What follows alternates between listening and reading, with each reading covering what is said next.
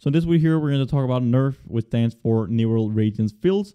So the basic idea behind NERF here is that we have these 2D input images from our scene. Then we basically just pass them into our NERF algorithm. First of all, we need to do, for example, like as we're doing structure from motion, we have our 2D images. Then we need to find the poses of our camera so we can actually like relate them to each other. So we have these input images. We find these different kind of like features, the poses, and so on. Then we optimize it with our NERF algorithm for all from all these different kind of like viewpoints, and then we can render new views based on that. But instead of structure from motion, we're actually using like multi-layer perceptron. So we're basically using neural networks for doing this optimization where we go from these input images to our whole rendered views here.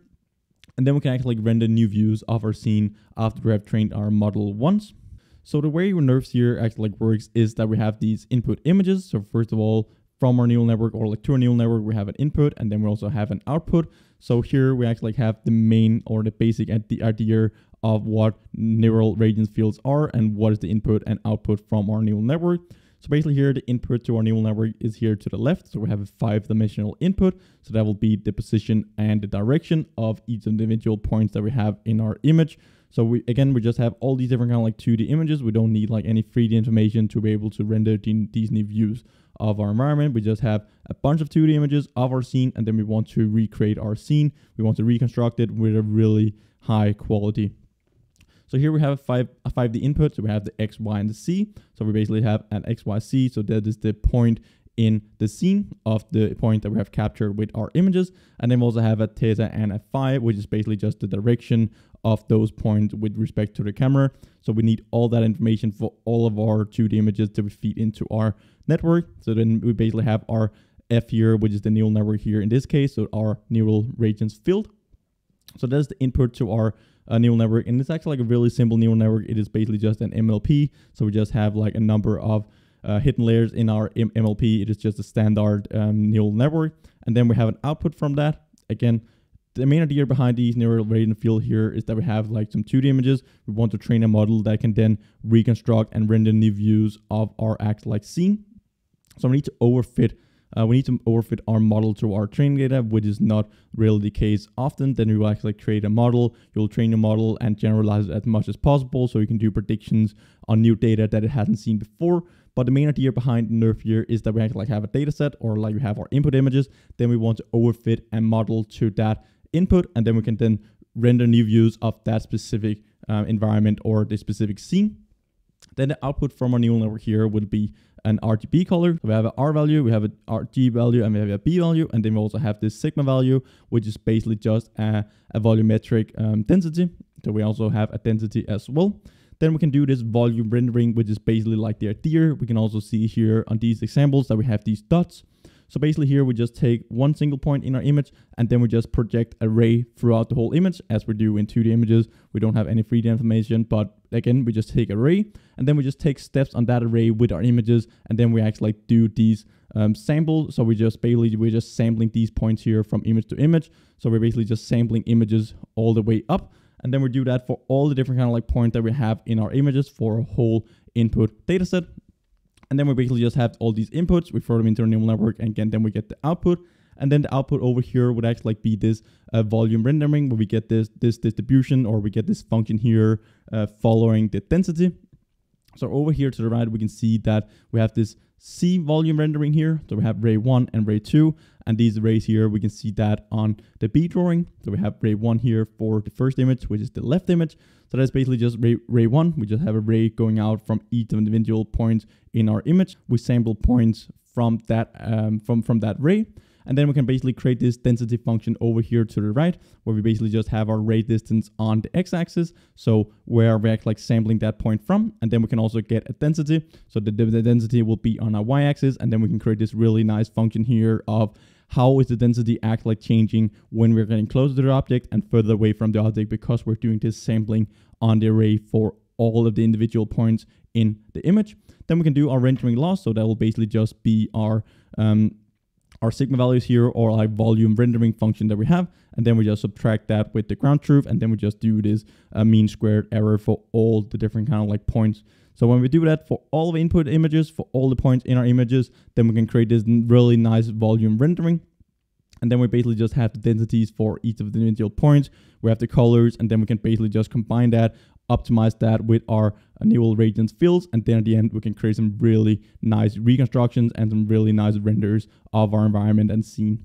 So this is one of the cooler things about neural radiance field because we don't really have this view dependence.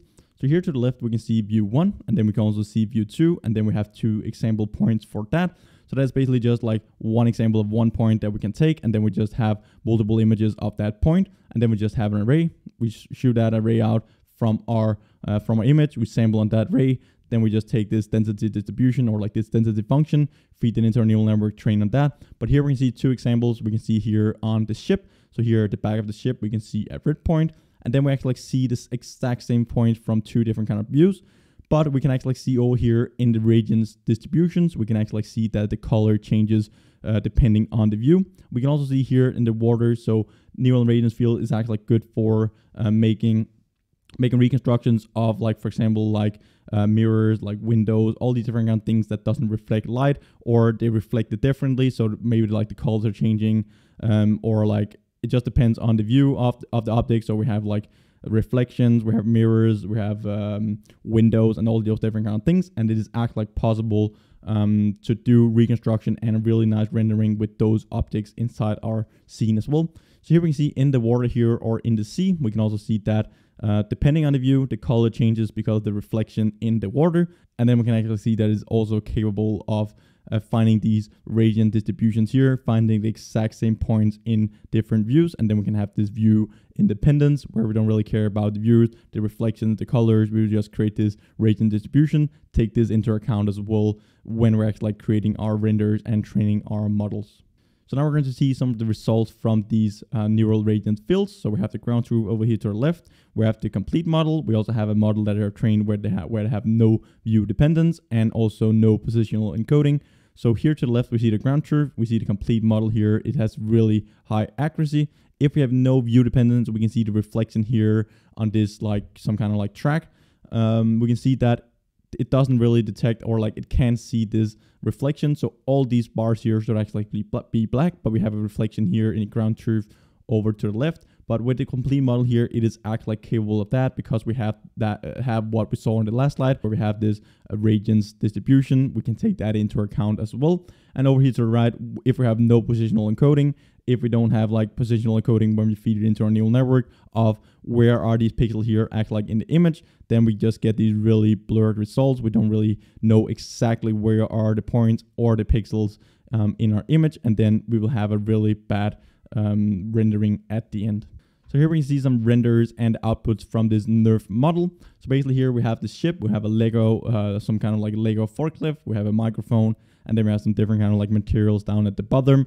Uh, and then we basically just have different kind of examples for uh, different models trying to reconstruct and render these environments and scenes. So we can see here with the ship, we can just see the accuracy here of NERF compared to LF, uh, LLFF and SRN and also NV. So we get these really blurred images in all these other different kind of like samples. NERF is really close to the ground truth as you can see. Like I can't even like tell the difference if you're just like taking like a quick look at it. You need to like zoom in, go into more details here. For example, like the microphone, the grid at the microphone is not perfect um, as in the ground truth, but this is still a really good render. And here we can see that this is really zoomed in. Over here to the left, we can see the direct uh, the direct output. So it is really high detailed uh, rendering that we get out from this NERF model here. And again, remember these models here are only trained on 2D images. We don't have any like 3D information from expensive 3D uh, scanners. Uh, we don't like have like some different kind of like scanners that can do point clouds, um, reconstruct environments based on that, like high resolution cameras. We don't have equipment for like several thousand dollars. We basically just have a, a, a phone. We can just use a phone, a phone camera or like basic camera, go around, capture some images of your scene. Again, you, need like a lot of images of your scene, and the more images, like the better quality, uh, or like at least the better like the model can learn, because what we want is actually like our model to overfit on those images that we train our um, neural radiance field on. So basically, again, we just overfit it. We train a model that can reconstruct and render these environments here and these scenes from different views.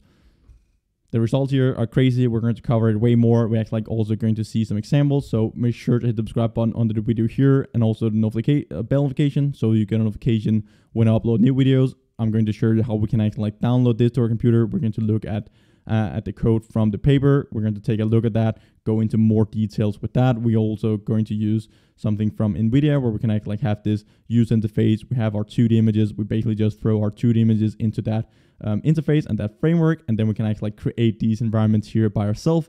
We can basically just go around. If we want to do rendering of an object or a scene, we can just take our phone, take some images of that, throw it into the model, overfit the model to that data set, and then we can actually like do rendering as we're seeing here in these results. So here we can see some other different kind of like outputs from the model. We can just see the details because we have this uh, both like we have both the positional encoding, but we also have the radiance distribution. So we can get some really nice details and also exact details when we zoom in on the images because of this positional encoding. So we know exactly where are the points in our image. And also because we're sampling on this array, so we have the density uh, for our function, or we have a density function where we basically just sampling, we get closer and closer to the object. We have this density from each of the individual samples, and then we can create these really nice details combined with positional encoding. So here again, we can just see the results. NeRF is really close to the ground truth and way, way, way, way, way closer compared to all the other different kind of methods um, that are like used inside of this field. We see details, even though like maybe if we zoom in really, really close uh, to the object, we can still see some blurriness, but we have the position, we have the quality, we have some really nice render, only based on 2D images.